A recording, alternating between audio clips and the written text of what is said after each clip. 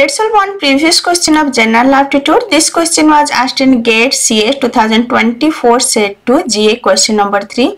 This question is from set theory. So with reading the question, I will also draw the Venn diagram that you can easily understand the numbers. In an engineering college of 10,000 students, 1500 like neither their core branches nor other branches.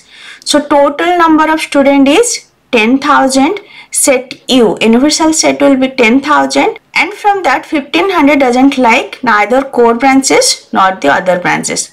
The number of student who likes their core branches is 1 by 4th of the number of student who like other branches.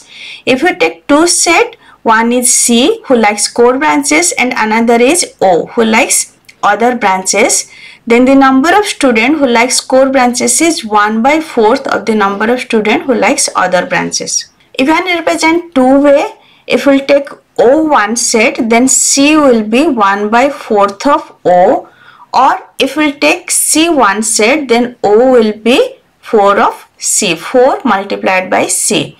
In both way, C is 1 by 4th of O.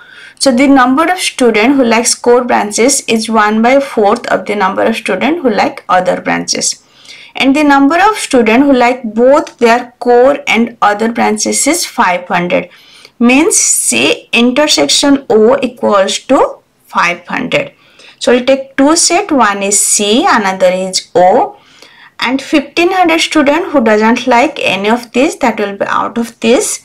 We can say C union O complement is 1500 right and common students are 500 who likes core plus other branches.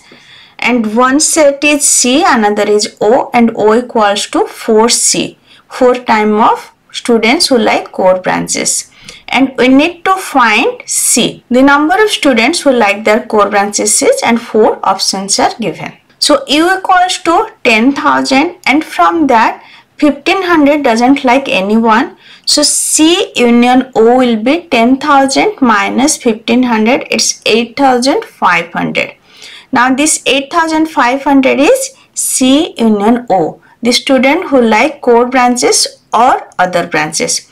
Now we know the union formula that is C plus O minus C intersection O and we know this value is 500 and O equals to 4C. So you can write C union O equals to C cardinality plus 4C cardinality minus 500.